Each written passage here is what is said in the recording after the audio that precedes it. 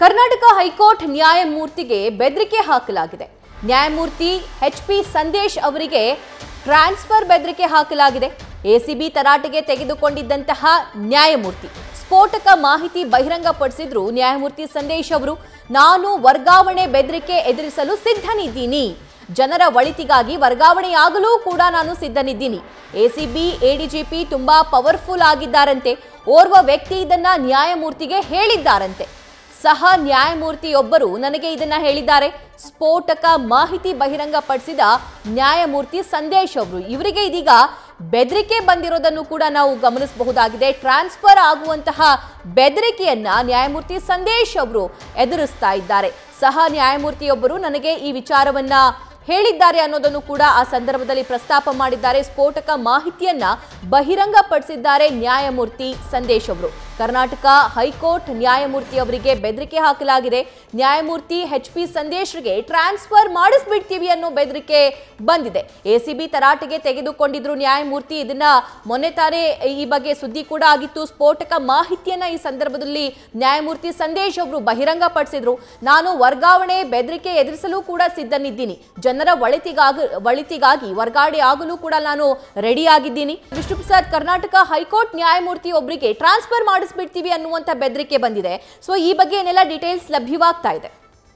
ಖಂಡಿತ ಸಭಾ, ಈ ಒಂದು ಪ್ರಕರಣದಲ್ಲಿ ನಾವು ನೋಡ್ತಾ ಹೋದಂಥ ವೇಳೆಯಲ್ಲಿ ಈ ಕೇಸಲ್ಲಿ ದಿನೇ ದಿನೇ ಅಪ್ಡೇಟ್ಗಳು ಬೇರೆ ಥರನೇ ಆಗ್ತಿರುವಂಥದ್ದು. ಅದರಲ್ಲೂ ಪ್ರಮುಖವಾಗಿ ಬೆಂಗಳೂರು ನಗರ ಡಿ ಸಿ ಆಗಿರುವಂತಹ, ಡಿ ಸಿ ಆಗಿದ್ದಂತಹ ಜೆ ಮಂಜುನಾಥ್ ಅವರ ವಿರುದ್ಧ ಒಂದು ಗಂಭೀರ ಆರೋಪ ಕೇಳಿಬಂದಿತ್ತು. ಜೆ ಮಂಜುನಾಥ್ ಈ ಪ್ರಕರಣದಲ್ಲಿ ಏನೋ ಐದು ಲಕ್ಷ ಹಣಕ್ಕೆ ಡಿಮ್ಯಾಂಡ್ ಮಾಡಿದ್ರು ಅನ್ನೋ ಒಂದು ಗಂಭೀರ ಆರೋಪ ಕೇಳಿಬಂದಿತ್ತು. ಮತ್ತೆ ಸ್ವತಃ ಅವರ ಜೊತೆ ಕೆಳಗಡೆ ಕೆಲಸ ಮಾಡ್ತಿದ್ದಂಥ ಉಪ ತಹಸೀಲ್ದಾರ್ ಮಹೇಶ್ ಅವರ ಮೂಲಕ ಈ ಒಂದು ಹಣವನ್ನು ಪಡೆದುಕೊಂಡಿದ್ದಂಥ ಆರೋಪ ಇತ್ತು. A D A C B ಅಧಿಕಾರಿಗಳು ರೇಡ್ ಮಾಡಿದಂಥ ಸಂದರ್ಭದಲ್ಲಿ ಅವ್ರನ್ನ ರಕ್ಷಣೆ ಮಾಡಿದರೆ ಅನ್ನೋ ಒಂದು ಆರೋಪ ಕೇಳಿಬಂದಿತ್ತು. ಮತ್ತು ಮಂಜುನಾಥ್ ಅವ್ರನ್ನ ಅರೆಸ್ಟ್ ಮಾಡೋದಕ್ಕೆ ಮೀನಮೇಷ ಎಣಿಸಲಾಗ್ತಿದೆ. ಅದರಲ್ಲೂ ಪ್ರಮುಖವಾಗಿ ಎ ಸಿ ಬಿ ಅಧಿಕಾರಿಗಳು ಮೀನಾಮಿಷ ಎಣಿಸ್ತಿದ್ದಾರೆ ಅಂತೇಳಿ ಗಂಭೀರ ಆರೋಪ ಕೇಳಿಬಂದಿತ್ತು. ಇದೇ ವಿಚಾರಕ್ಕೆ ಸಂಬಂಧಪಟ್ಟಂತೆ ಹೈಕೋರ್ಟ್ನಲ್ಲಿ ಅರ್ಜಿ ವಿಚಾರಣೆ ಕೈಗೆತ್ತಿಕೊಂಡಂತಹ ಸಂದರ್ಭದಲ್ಲಿ ಕೂಡ ಪದೇ ಪದೇ ಇದನ್ನ ಹೈಕೋರ್ಟ್ನ ನ್ಯಾಯಮೂರ್ತಿಗಳು ಪದೇ ಪದೇ ಎತ್ತಿ ಹೇಳುವಂತಹ ಕೆಲಸವನ್ನು ಮಾಡಿದ್ರು. ಯಾಕೆ ಕೇವಲ ಬರೀ ಕೆಳಗಡೆ ಇರುವಂತಹ ಬಾಲಂಗೋಚಿಗಳನ್ನು ಅರೆಸ್ಟ್ ಮಾಡುವಂಥ ಕೆಲಸವನ್ನು ಮಾಡ್ತಿದ್ರೆ I S, I P S ಅಧಿಕಾರಿಗಳನ್ನ ಯಾಕೆ ನೀವು ಅರೆಸ್ಟ್ ಮಾಡ್ತಿಲ್ಲ ಅಂತೇಳಿ ಪ್ರತಿ ಬಾರಿಯೂ ಕೂಡ ಪ್ರಶ್ನೆ ಮಾಡುವಂಥ ಕೆಲಸವನ್ನು ಕೂಡ ಮಾಡಿದ್ರು. ಈ ಒಂದು ಪ್ರಕರಣಕ್ಕೆ ಸಂಬಂಧಪಟ್ಟಂತೆ ಮೊನ್ನೆ ವಿಚಾರಣೆ ನಡೆಸುವಂಥ ಸಂದರ್ಭದಲ್ಲಿ ನೇರವಾಗಿ ಏನು ನೇರವಾಗಿ ಎ ಸಿ ಬಿ ಅಧಿಕಾರಿಗಳಿಗೆ ತರಾಟೆ ತೆಗೆದುಕೊಂಡ್ರು. ಜೊತೆಗೆ ಎ ಡಿ ಜಿ ಪಿ ಆಗಿರುವಂತಹ ಸಿಮಂತ್ ಕುಮಾರ್ ಸಿಂಗ್ ಅವರಿಗೆ ಪರೋಕ್ಷವಾಗಿ ತರಾಟೆಗೆ ತೆಗೆದುಕೊಳ್ಳುವಂಥ ಕೆಲಸವನ್ನು ಮಾಡಿದ್ರು. ಒಬ್ಬ ಕಳಂಕಿತ ಅಧಿಕಾರಿಯನ್ನು ಯಾಕೆ ತಂದು ಎ ಸಿ ಅನ್ನೋ ಒಂದು ಪ್ರಶ್ನೆಯನ್ನು ಕೂಡ ಮಾಡುವಂಥ ಕೆಲಸವನ್ನು ಸಂದೇಶ ಅವರು ಮಾಡಿದ್ರು. ಈ ಎಲ್ಲ ಬೆಳವಣಿಗೆ ನಡುವೆ ಯಾವಾಗ ಎ ಸಿ ಬಿಗೆ ತರಾಟೆ ತೆಗೆದುಕೊಳ್ಳುವಂತಹ ಕೆಲಸವನ್ನು ನ್ಯಾಯಮೂರ್ತಿಗಳು ಮಾಡಿದ್ರು, ಇವತ್ತು ನ್ಯಾಯಮೂರ್ತಿಗಳೇ ಸ್ವತಃ ಇವತ್ತು ವಿಚಾರಣೆ ಕೈಗೆತ್ಕೊಂಡಂಥ ಸಂದರ್ಭದಲ್ಲಿ ಸ್ಪಷ್ಟಪಡಿಸುವಂಥ ಕೆಲಸವನ್ನು ಕೂಡ ಮಾಡಿದ್ರು. ಮೊದಲನೇದಾಗಿ ಅವ್ರು ಹೇಳಿದಂತಹ ವಿಚಾರ ಏನಂತಂದ್ರೆ, ನನಗೆ ಬೆದರಿಕೆ ಹಾಕಿಸುವಂಥದ್ದು, ಅಂದರೆ ವರ್ಗಾವಣೆ ಮಾಡಿಸ್ತೀವಿ ಅನ್ನೋ ಒಂದು ರೀತಿಯಲ್ಲಿ ಬೆದರಿಕೆ ಹಾಕುವಂತಹ ಕೆಲಸವನ್ನು ಒಬ್ಬ ವ್ಯಕ್ತಿ ಮಾಡ್ತಿರುವಂಥದ್ದು, ಅಷ್ಟು ಪವರ್ಫುಲ್ ಇರುವಂತಹ ಅಧಿಕಾರಿಗಳು ನೀವು ಇದ್ದೀರಾ ಅನ್ನೋ ಒಂದು ಪ್ರಶ್ನೆಯನ್ನು ಕೂಡ ಮಾಡಿದರು. ಜೊತೆಗೆ ನೀವು ಬೇಕಾದರೆ ಯಾರ ಕಡೆಯಿಂದಲೂ ಮೂಲಕನಾದರೂ ನನ್ನನ್ನು ಟ್ರಾನ್ಸ್ಫರ್ ಮಾಡಿಸಿ ನಾನು ಹೋಗೋದಕ್ಕೆ ರೆಡಿ ಇದ್ದೇನೆ ಅನ್ನೋ ಒಂದು ಪಾಯಿಂಟನ್ನು ಉಲ್ಲೇಖವನ್ನು ಮಾಡಿದ್ರು. ಅಂದರೆ ಎಲ್ಲ ಒಂದು ಕಡೆ ನ್ಯಾಯಮೂರ್ತಿಗಳು ಕೊಟ್ಟಂತಹ ಆದೇಶಕ್ಕೆ ಸಂಬಂಧಪಟ್ಟಂತೆ ತಾವು ತಮ್ಮ ಓವರಲ್ ಅಭಿಪ್ರಾಯವನ್ನು ವ್ಯಕ್ತಪಡಿಸಿದ್ದಕ್ಕೆ ಬೇಸರಗೊಳ್ಳುವಂಥ ಕೆಲಸವನ್ನು ಇಲ್ಲಿರುವಂಥ ಅಧಿಕಾರಿಗಳು ಮಾಡಿದ್ರೆ ಅನ್ನೋ ಒಂದು ಪ್ರಶ್ನೆ ಮೂಡ್ತಿರುವಂಥದ್ದು. ಅದರ ಜೊತೆಗೆ ಸಂದೇಶ ಅವರು ಹೇಳುವಂಥ ಸಂದರ್ಭದಲ್ಲಿ ಮೊದಲನೇದಾಗಿ ನೀವು ಯಾವುದೇ ರೀತಿ ವರ್ಗಾವಣೆ ಮಾಡಿಸಿದ್ರು ಕೂಡ ಅದಕ್ಕೆ ಹೋಗೋದಕ್ಕೆ ನಾನು ಸಿದ್ಧ ಇದ್ದೀನಿ. ಅಂದರೆ ನಿಮ್ಮ ಎಡ್ ಜಿ ಪಿ ಅಷ್ಟು ಪವರ್ಫುಲ್ ಆಗಿದ್ದಾರಾ ಅನ್ನೋ ಒಂದು ರೀತಿಯಲ್ಲಿ ಪ್ರಶ್ನೆಯನ್ನು ಮಾಡಿದ್ರು. ಅಂದರೆ ನೇರವಾಗಿ ಅವರ ಹೆಸರನ್ನ ತೆಗೆದುಕೊಳ್ಳದೇ ಇದ್ರು ಕೂಡ ಅಲ್ಲಿ A C B A D G P ಆಗಿರುವಂಥ ಸೀಮಂತ್ ಕುಮಾರ್ ಸಿಂಗ್ ಅವರಿಗೆ ಇವತ್ತು ಸಂದೇಶ ಅವರು ತರಾಟೆ ತೆಗೆದುಕೊಳ್ಳುವಂತಹ ಕೆಲಸವನ್ನು ಮಾಡಿದ್ರು. ಸ್ಮಿತ್, ಸಭಾ.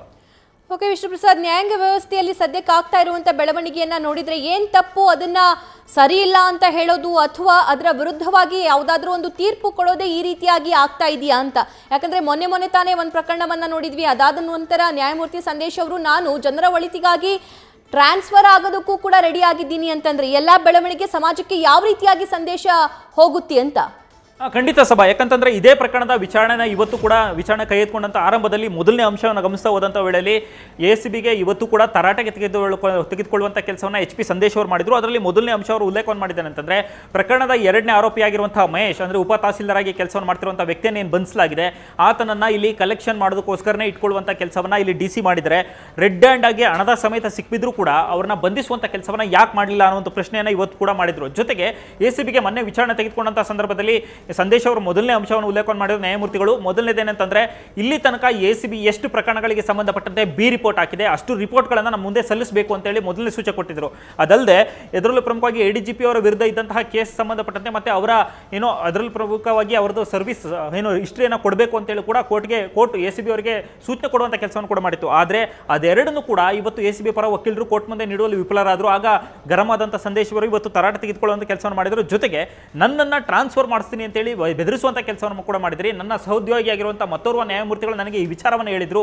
ಅಂದರೆ ಅಷ್ಟು ಪವರ್ಫುಲ್ ಆಗಿದ್ದಾರೆ ನಿಮ್ಮ ಎ ಡಿ ಜಿ ಪಿ ಅಂತೇಳಿ ಇವತ್ತು ಪ್ರಶ್ನೆ ಮಾಡುವಂಥ ಕೆಲಸವನ್ನು ಇವತ್ತು ಸಂದೇಶ್ ಅವರು ಮಾಡಿದರು. ಈ ಎಲ್ಲ ಬೆಳವಣಿಗೆ ನಡುವೆ ಪುನಃ ಯಾವಾಗ ಮಂಜುನಾಥ್ ಅವರನ್ನ ಯಾಕೆ ಬಂಧಿಸಿಲ್ಲ ಅನ್ನೋ ಒಂದು ಪ್ರಶ್ನೆಯನ್ನು ಇವತ್ತು ಹೈಕೋರ್ಟ್ ಕೈಗೆತ್ಕೊಳ್ತು ಈ ಎಲ್ಲ ಬೆಳವಣಿಗೆ ನಡುವೆ ಈಗ ಡಿ ಸಿ ಮಂಜುನಾಥ್ ಅವರನ್ನ ವಶಕ್ಕೆ ತೆಗೆದುಕೊಳ್ಳುವಂಥ ಕೆಲಸವನ್ನು ಎ ಸಿ ಬಿ ಟೀಮ್ ಮಾಡಿತ್ತು.